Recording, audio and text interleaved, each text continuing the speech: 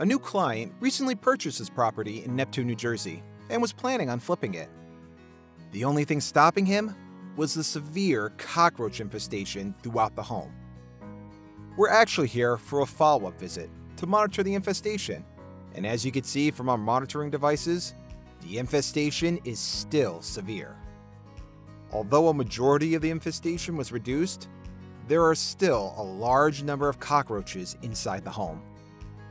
Right now, we're using a knockdown aerosol product that will flush the cockroaches out of hiding and almost immediately eliminate them. We're applying this product to every single crack, crevice, nook, and cranny throughout the basement and the first floor of the home. Afterward, we're going to apply an EPA registered insect growth regulator combined with the residual product. This treatment affects the cockroach's reproductive system and prevents them from reaching adulthood. Lastly, we discarded the old monitoring devices and set up new ones. Because of the severity of the infestation, we're going to return for several visits and reapply the treatment process until the cockroaches are no longer present in this home.